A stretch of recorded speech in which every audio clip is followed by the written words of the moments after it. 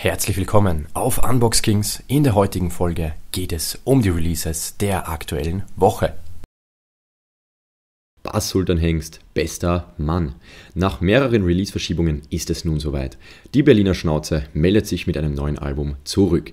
Bester Mann kommt mit 13 Tracks und beinhaltet keinerlei Features. Das Album erscheint über das Label No Limits und erscheint als CD und auch als Box. Sido Kronjuwelen. Kronjuwelen ist ein Best-of-Album, auf dem sich die wichtigsten Tracks seiner letzten vier Studioalben befinden. Darüber hinaus befinden sich zwei neue Tracks und jede Menge Sido Gastparts darauf.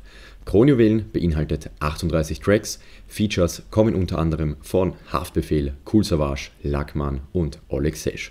Das Album wird über Urban veröffentlicht und erscheint als CD und auch als Fotobuch. Motrip und alias Mohammed Ali. Der Name Mohammed Ali spielt einerseits auf den weltbekannten Boxer an, auf der anderen Seite setzt er sich aus den Vornamen der beiden Ausnahmetexter zusammen. Mohammed Ali kommt mit 17 Tracks und beinhaltet Features von Summer Jam, Kollega und Manuelsen. Das Album erscheint über das Label Urban und erscheint als CD, als Vinyl und auch als Box. Kollega Monument.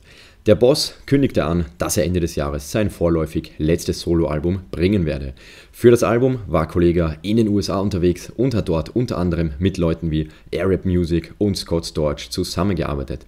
Features kommen von 18 Karat, Farid Bang, Nas und Cameron. Das Album wird über Alpha Music Empire veröffentlicht und erscheint als CD und auch als Box. Credibil Semikolon Drei Jahre ist es her, als Credibil mit Renaissance sein letztes Album released hat. Jetzt ist es an der Zeit für ein neues Soloalbum.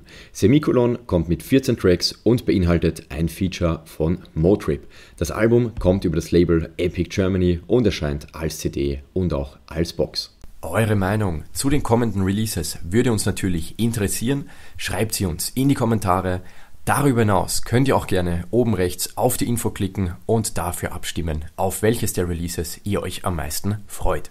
Alle Infos und Links zu den Alben findet ihr wie immer unter dem Video in der Videobeschreibung. Dort findet ihr dann auch die Links zu den jeweiligen Unboxings. Das war's für heute. Wir sehen uns beim nächsten Mal wieder. Passt auf euch auf. Ciao.